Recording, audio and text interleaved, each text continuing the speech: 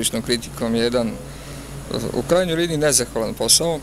Ne samo zbog toga što pozorišni kritičar mora da ide da gleda predstavu i kad mu se to ne radi, kad uopšte nije raspoložen, kad je indisponiran privatno iz raznih razloga, nego i zato što svake godine povećava broj ličnih neprijatelja. To je neminovnost ovog posla i svako ko se upusti ovaj posao s tim mora da računa. Pozorišni kritičar nema prijatelje među glumcima, po pravilu. Ima izuzetaka, naravno. Kako se pozorište razvija, kako se dramaturgija razvija, mora i kritičar da se razvija. Da bude, ako ne ispred vremena, a ono mora bar da prati i da razume ono što se piše. A zakon pozorište je da se bavi svojim vremenom, svojim dobom i da daje predstave za sadašnje gledalce. Pozorište se ne piše za budućnost, ono je sada i ovde. Glumac je sada i ovde. Mi možemo roman napisati, pa kroz 200 godina da se shvati da je to veliki roman. Ali pozorište postoji isključivo sada za ovde. Rado mi reka da ljudi iz e, ove vaše pozorišne branše, glumci, režiseri, dramski pisci, scenografi, kostimografi i da ne nabrajamo dalje, pročitaju i koju opasku, kad kažem ovo opasku, onda mislim na punu težinu te reči, naravno u minusu, onda su skloni da upotrebe nešto za uzvrat, da kažu da su kritičari oni ljudi koji bi pisali o tome što oni rade, kako bi to oni umeli da rade, da znaju to da rade. Tako je ne samo u pozorišnoj umetnosti kada je kritika u pitanju, nego u svim granama umetnosti. Pa, u svakom slučaju dijalog je e, nešto bez čega nema pozorišta. Tako da i ovaj naš razgovor može lepo da protekne u dijalogu, a vi ste mi postavili više pitanja e, istovremeno. E, ja bih krenuo prvo od jedne male moje lične premise o tome šta je zadatak kritike uopšte, ne samo pozoriš, nego svekolike umetničke kritike. E, najkraće rečeno, kritika ima dve obaveze. Da protumači i da vrednuje umetničko delo. U svome kritičarskom radu ja se držim te dve osnovne funkcije kritike. Naravno, kao i svaki čovek i kritičar je moguće subjektivan u svojim procenama, u svojim tumačenjima, ali istovremeno kritičar bi trebalo i najčešće to i čini, e, dakle trebalo bi i jeste i postaje glas javnosti. Dakle, u ime neke publike pozorišne, potencijalne, koje će doći ili koje neće doći u pozorište, kritičar ocenjuje predstavu. E, posebno valja ovdje istaći jednu okolnost. Reč je o praizvedbama drama domaćih pisaca. Poslednjih godina imamo srećnu okolnost da se pojavio veliki broj novih dramskih pisaca. Ja mislim lično da je za svako pozorište praznik kada izvede prvi put dramu domaćeg pisca. Bilo mladog, bilo e, pripadnika srednje ili starije generacije, ali prvo izvođenje jedne drame je praznik. Tom prilikom kritičar mora da bude na većim mukama nego kada ocenjuje e, i prikazivanje nekog klasičnog dramskog dela. Dakle, e, kritičar bi tu morao da ima razvijen i sluh i osjećaj da na vreme uoči vrednosti novog dramskog dela koje se prvi put prikazuje u javnosti, da ga protumači valjano, da, ga, da mu odredi neke koordinate, mesto u nekoj matrici, u nekom sistemu, u nekom, u nekom književnom nasledđu i u tekućoj produkciji, treba pritom da oceni da li je reditelj uspeo da dosegne ili čak da prevaziđe osnov, odnosno dramski tekst, i takođe treba da odgovori kako su glumci reagovali na nešto što do sad nije igrano. Dakle, prvi put umače nekakve likove, neke nove karaktere, kakvih nema. Kao što vidite, e, pozicija kritičara je malo složena, a nedavno je e, moj kolega i prijatelj i moj profesor Jovan Hristić napravio jedan mali esej o tome šta je pozorišna kritika. Kako znamo, Hristić je dugogodišnji pozorišni kritičar časopisa Književnost i beogradski glumci sa nestrpljenjem očekuju da pročitaju sud uvaženog Jovana Hristića, koji piše jako duhovito, pametno, razborito i veoma uvažavaju njegove kritike, mada su te kritike po glumce često ovako porazne, jer je Hristić kritičar bez dlake na jeziku. Dakle, Hristić u toj svoj maloj preambuli, recimo, o pozorišnoj kritici, kaže da je kritičar istovremeno i gledalac, i dramski pisac, i reditelj, i glumac, i sam, kao ličnost. Dakle, kritičar mora da posjeduje osobine koje su bitne za nekoliko zanimanja. Ali, e, ako posmatramo recimo istoriju srpske pozorišne kritike u novijem periodu, dakle u posleratnom periodu, primetit ćemo jednu zanimljivu stvar. E, jedno vreme pozorišnu kritiku pisali su najveći autoriteti, Eli Finci, Milan Bogdanović, Velibor Gligorić, dakle ljudi koji su imali pre rata vrlo napredan stav, bili su članovi partije, jeli, angažovani i njihova reč se veoma poštovala i uvažavala i oni su predstavljali strah i trepet za pozorište. Međutim, čini mi se da su u tom periodu takođe značajnu e, pozorišnu kritiku pisali i Stanislav Vinaver i Borivoje Glišić. Svi ovi navedeni ljudi su bili prvenstveno i književni, pa tek onda pozorišni kritičari.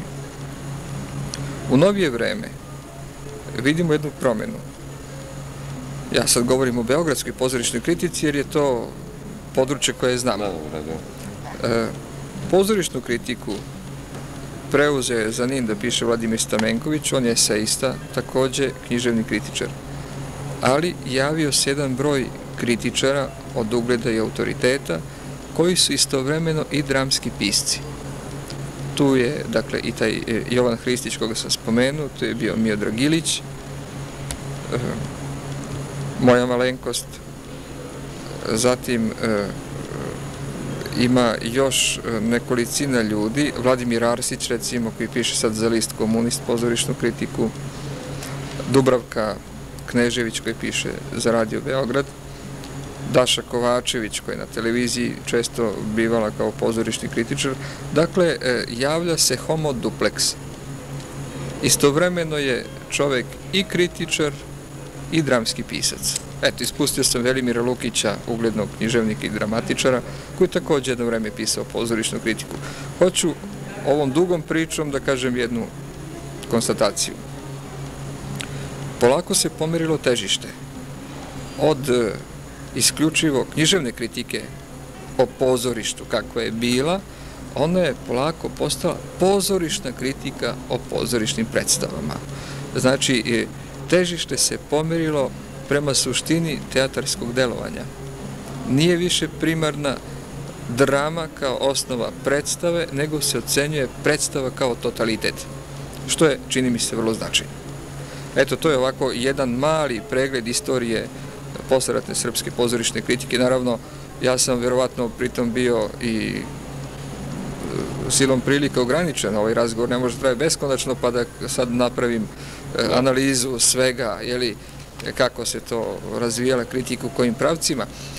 Ali mislim da je pozorišna kritika kod nas poslednjih godina uspela da se izbori za jedan lagodniji status. Naime, Pre je sud pozorišnog kritičara bivao neka vrsta zakona. Kada Eli Finci napiše jednu kritiku o predstavi, predstava ili dobije pohvale i ostane na repertoaru, ili biva skidana sa repertoara zbog negativne kritike.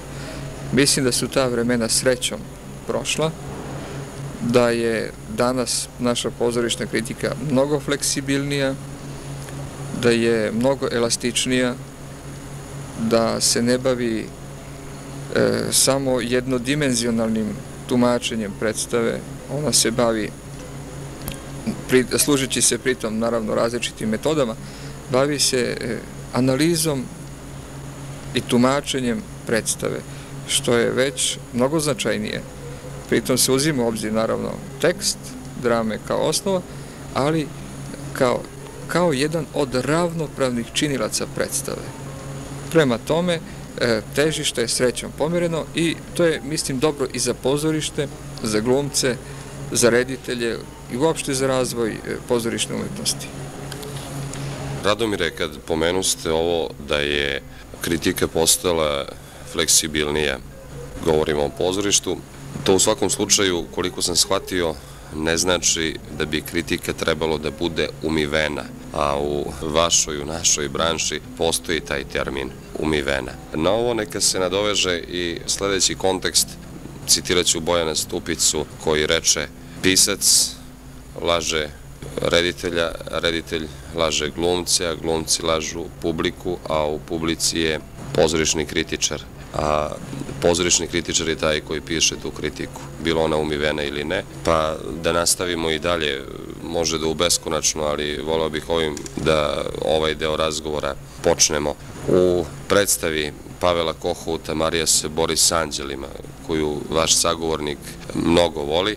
Čovek iz državnog aparata kaže, između ostalog, ko preživi Mavre, njegova i Alhambra, da to prevedemo na odnose u našem glumištu ili kako Jovan Čirilov kaže u našim pozorištarijama i da se nadovežemo na koncu konca na nešto najnovije. Dušan Kovačević u svojoj klaustrofobičnoj komediji postavlja pitanje sebi samome, rekao bih, i publici, i glumcima, i sebi kao reditelju po prvi put, da li to pozorište zaista potkazuje život.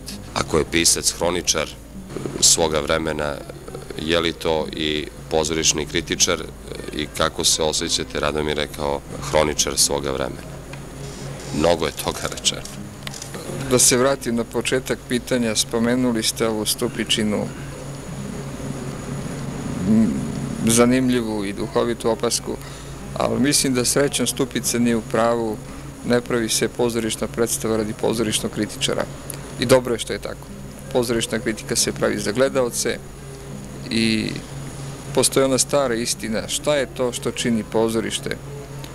To, to, to su najmanje dva glumca, jedan prostor gde igraju i nekoliko gledalaca. Bez tog nema teatra. Kritičar je jedan od gledalaca, s tim što je on sebi preuzeo pravo da javno kaže svoj sud. Naravno, ne kažem da je kritičar u pravu. I sud kritičar je takođe podložan sudu javnosti kao i predstava. Ne jedan put desilo se da kritičar pogreši i da da sasvim, e, to se kaže promašenu kritiku, ali da ne odgovori, da ne odgovori e, tekstu. Opet moram da se vratim na jedan primer. E, 56. godine U Beogradskom dramskom pozorištu, kako znamo, bila je zabranjena predstava čekajući Godoa Samuela Beketa u režiji Vasilija Popovića. E, do dana današnjeg, iako je napisano čak dve knjige o događajima o toj predstavi i oko te predstave i kako i zašto, nije ustanovljeno na koji način je i ko je naredio da se predstava zabrani. Predstava je, kako znamo, posle toga prešla u stari atelje 212 i bila je 20 godina na repertuaru, pa je posle toga i obnovljena. Oprostit ćete, a sada Beckett doživljava svoj remake po izlozima knjižara. Apsolutno, Beckett je svetski klasik, prema tome on to mora da, da, da tu satisfakciju doživi.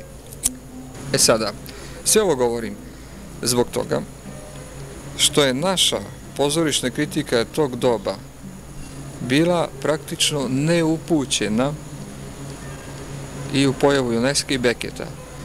Jedino je afirmativnu i sjajnu i lucidnu analizu te predstave napisao Borivoj Glišić, koji, to moram da kažem, generacijski pripada e, danas najstarijim živim kritičarima našima. Rođen je čovek 1908. godine.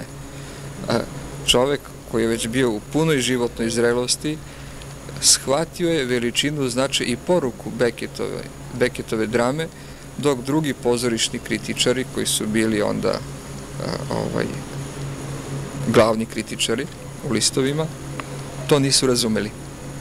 Hoću da kažem ovim da kako se pozorište razvija, kako se dramaturgija razvija, mora i kritičar da se razvija, da bude, ako ne ispred vremena, a ono mora bar da prati i da razume ono što se piše.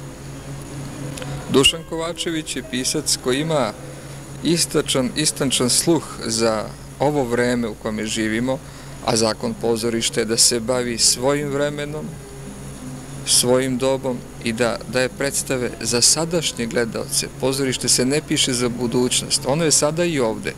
Glumac je sada i ovde. Mi možemo roman napisati, pa kroz 200 godina da se shvati da je to veliki roman. Ali pozorište postoji isključivo sada za ovde. Dušan Kovačević je jedan od redkih naših darovitih pisaca, raskošnog talenta, koji je e, otvorenih očiju posmatra, još uvek posmatra svet oko sebe i uviđa nelogičnosti u načinu našeg života, u načinu našeg mišljenja, e, uviđa karakteristike našeg mentaliteta i sve to uspeva sjajno da sintetizuje i da se sarkastično na sve to osvrne u svojim komedijama. To je učinio i u klaustrofobičnoj komediji. Ja sam pisao o, o toj komediji, smatram jednom od najznačajnijih komedija. Čitali su vaši čitaoci, a naši slušalci krajem prošle godine vašu kritiku o klaustrofobičnoj, pretpostavljam, ali izvolite. E, moram e, da kažem jednu stvar. U istoriji naše srpske komediografije postoje dva osnovna toka. Jedan je osnovao začetnik Maesterija. On je pisao tu poučiteljnu E, sumornu, mračnu, crnu komediju. Njegov nastavljač je Vojislav Jovanović Marambo, jedan zaboravljen pisac, koji je napisao tri ili četiri komedije. Pre par godina Kragujevačko pozorište izvodilo je njegovu dramu Naši sinovi u režiji Miroslava Belovića. I to je bilo jedno otkriće i ta predstava išla čak i na starino pozorje te godine. Dakle, e, ta jedna linija ide tom crnom, sumornom, surovom komedijom, to su Sterija, Marambo i Dušan Kovačević. Druga pak linija začinje se negde sa Kostom Trifkovićem, to je e, laka, lepršava, zabavna komedija, njen je najizrazitiji predstavnik Branislav Nušić. A danas imamo nekolicinu komediografa koji sasvim uspešno gaje tu vrstu zabavne komedije. Ali i Nušić je imao jednu komediju koja je izuzetak od pravila. To je njegova komedija Pokojnik koja je napisana u sterinom duhu, u sterinom e, crnom prosvetiteljskom, recimo uslovno prosvetiteljskom e, pogledu na svet. Tako da su dve najveće satire u stvari u istoriji srpske komediografije e, tragedije. To su rodoljubci i pokojnik. Kad gledate i rodoljubce i pokojnika, e, možete se jedino gorko smejati. Ja sam taj utisak poneo i sa klaustrofobične komedije. Ja sam se gorko smejao svemu tome što je Kovačević sjajno napisao. Ali to je ta vrsta otrežnjujućeg i oplemenjujućeg, da ne kažem tu krupnu reč, katarzičnog humora, bez kog nema velike komedije.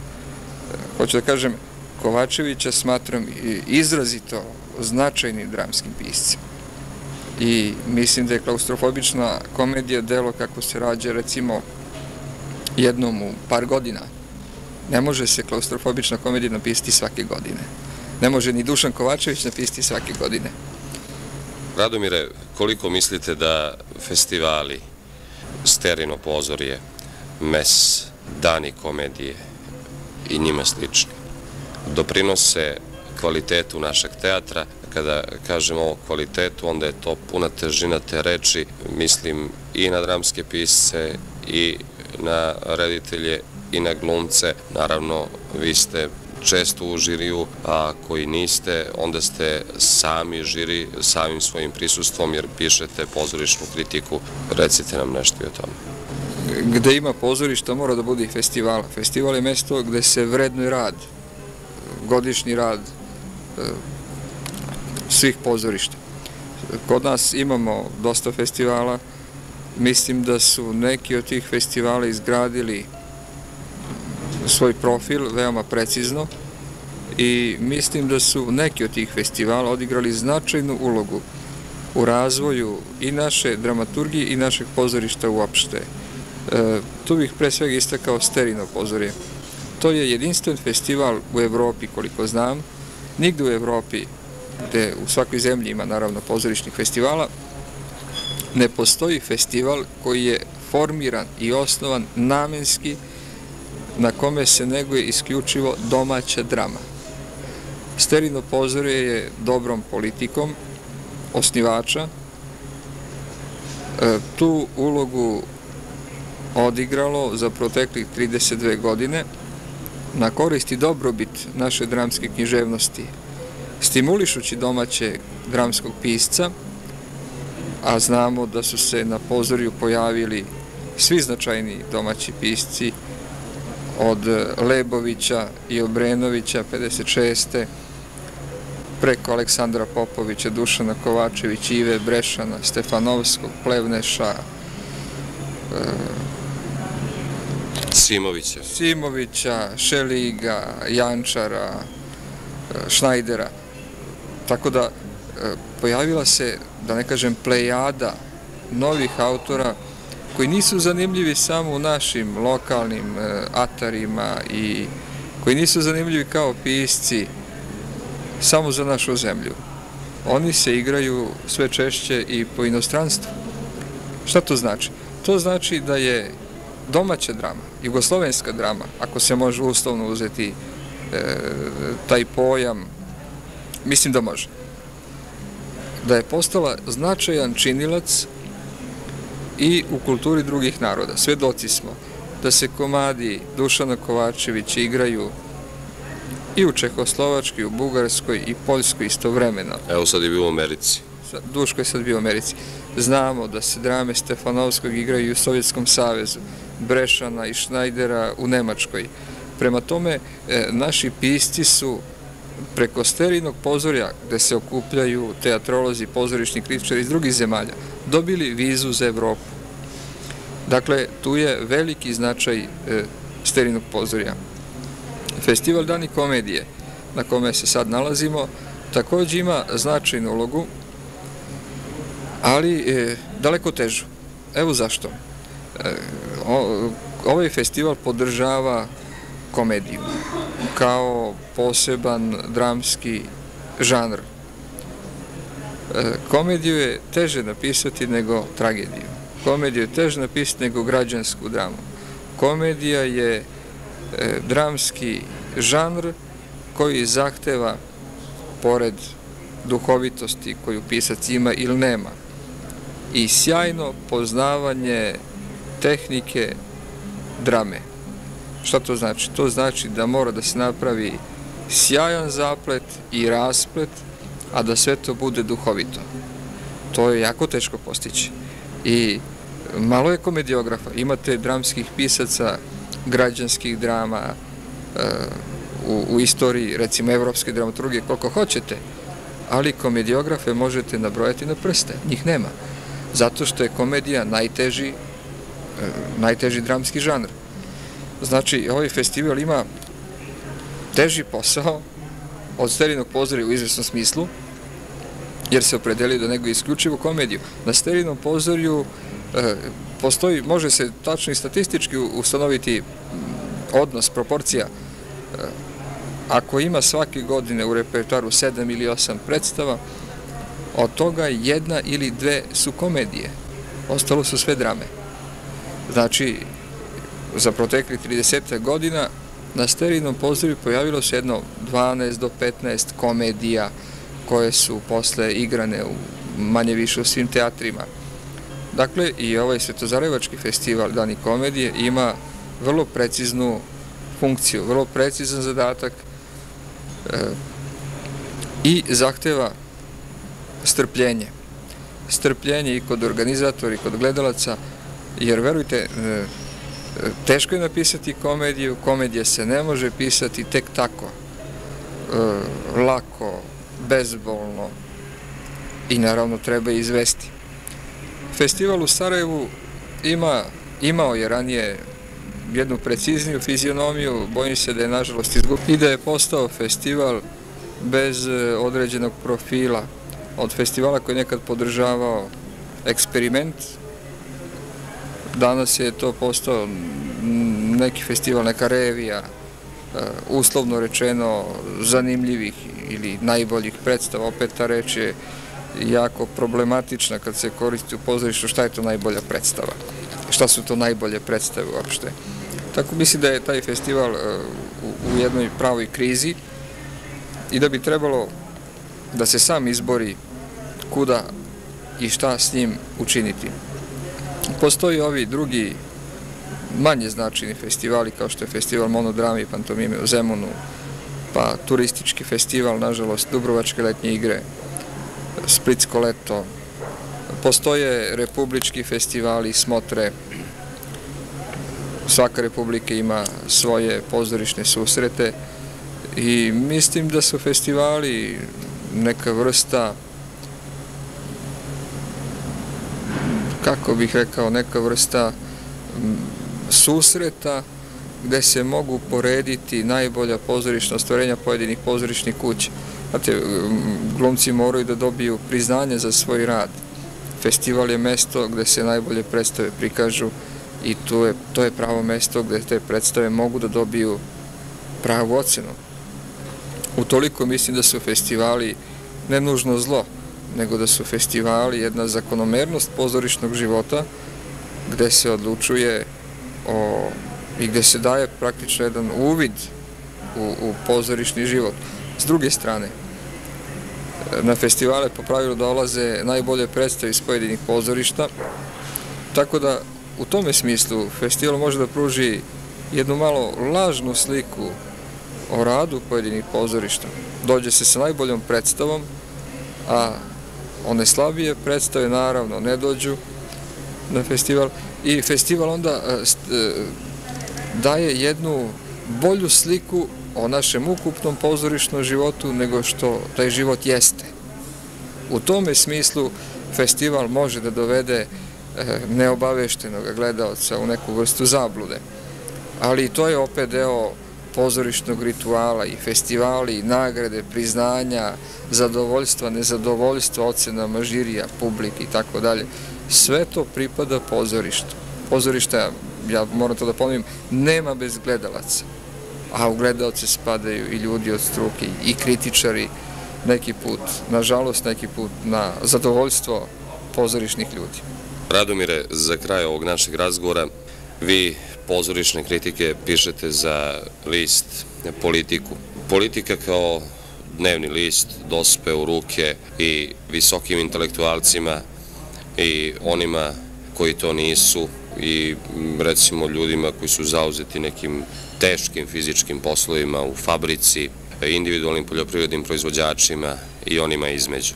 Kako pisati na onoliko malo stubaca pretpostavljam da vam je malo stubaca, a da to bude i korektno urađeno za nekog stručnog čoveka kada bude to čitao i za onog koji ne poznaje pozorište dovoljno da mu posluži kao informacija da li da to pogleda ili ne pogleda.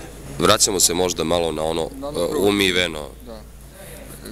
Činjenica je sledeća.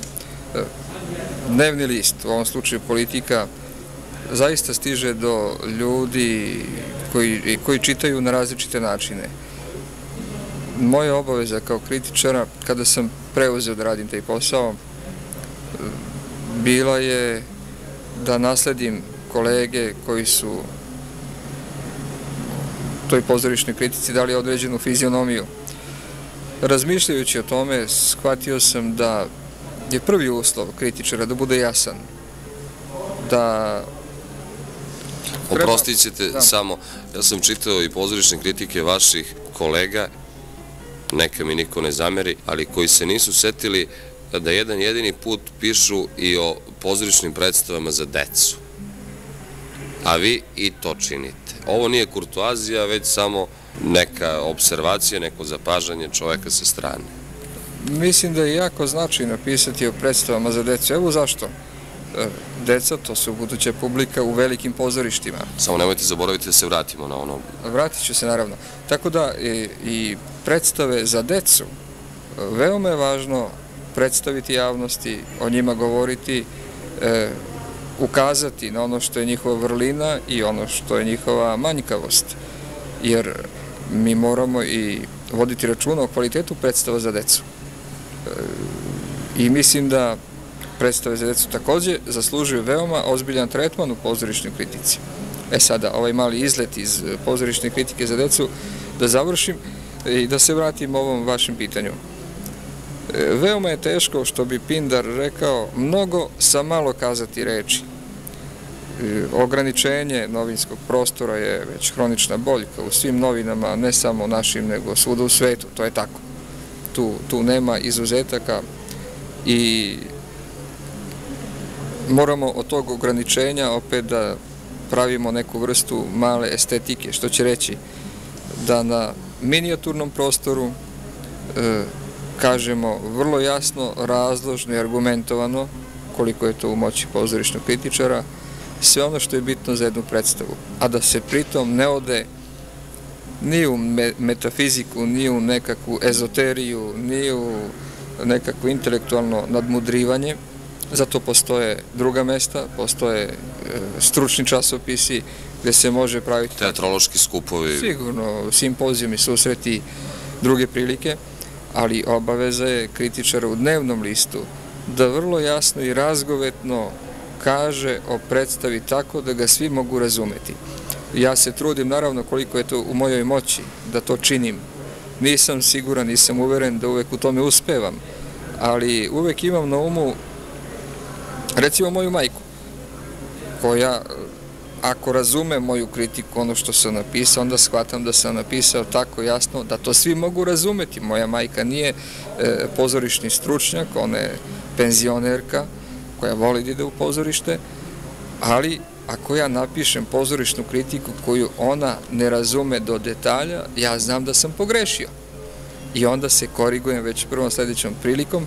Znači, dešavalo vam se? Kako da ne? Pa, znate, svako kad e, Ima, ima tih malih zabluda u poslu i moji kolege kritičari, a i ja sam to često radio ranije, e, imaju običaj da citiraju neka značajna mišljenja šta su pojedini kritičari kad tad rekli o nekim značajnim dramama ili pak filozofi i traže u tome sudu uporište za razvoj nekih svojih teza u predstavi.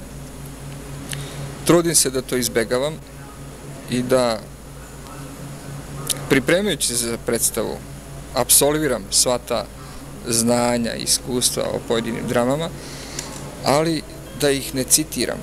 Da ih ne citiram u tome smislu, da, im se, da ih navedem pa da se postoje s njima... Poistovetite? Da ih prihvatim ili da ih pak opovrgavam u tekstu, jer je to onda kritika o nekom o nekoj kritici postojećoj.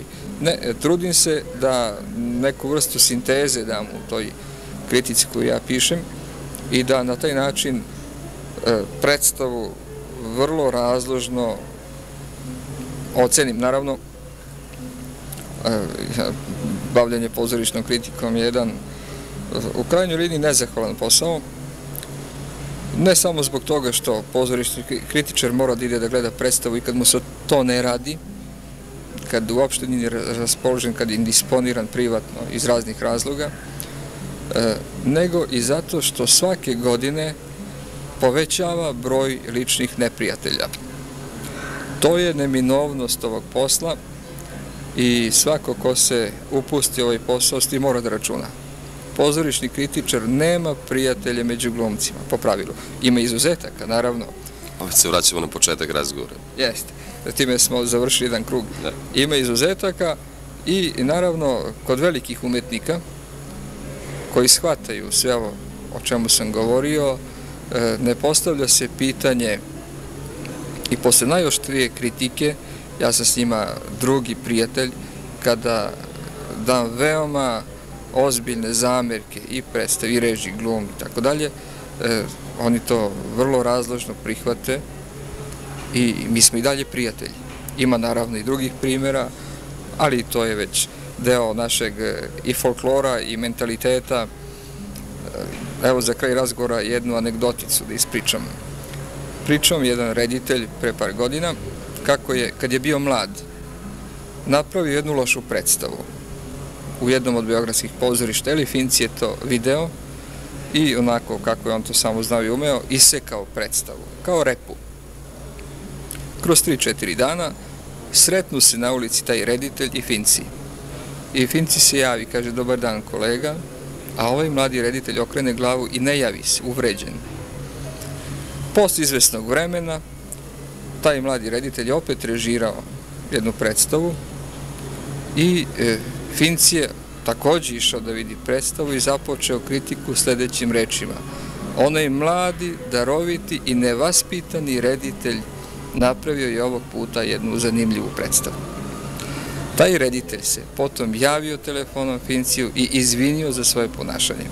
Ova anegdota dovoljno jasno e, može da ilustruje tezu o tome kako pozorišna kritika brzo e, stiče kritičar naime, kako brzo stiče neprijatelje, ali isto, ist, istom brzinom može da stekne i prijatelje, tamo gdje ih nije očekivao. E, Radomire, kada pomenuste da je ono malo stubaca u novinskom prostoru za kritiku, a ja bih to preneo i na magnetofonske trake, pa i na videotape kada su u pitanju radio i televizija. Ipak, verujte mi da je bilo lepo videti vas, Mani Gotovac, Dalibora Foretića, Feliksa Pašića i da ne nabrajam dalje, recimo na pozorišnoj predstavi 13 Božih tričarija Ramona Delvalje Inklana u režiji Paola Mađelija u izvođenju Beogradskog dramskog pozorišta, kao i na e, nekom od festivala.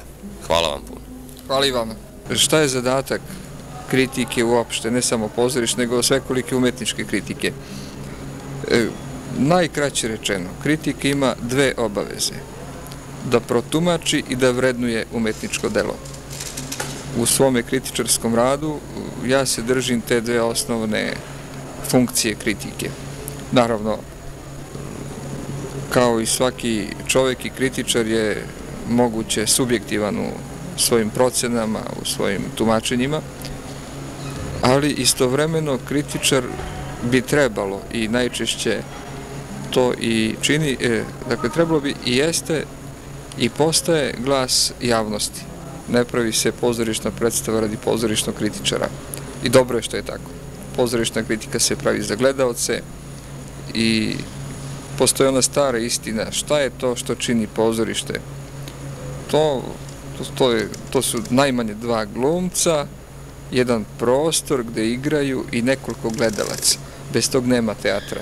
Kritičar je jedan od gledalaca, s tim što je on sebi preuzeo pravo da javno kaže svoj sud. Naravno, ne kažem da je kritičar u pravu. I sud kritičar je takođe podložan sudu javnosti kao i predstava.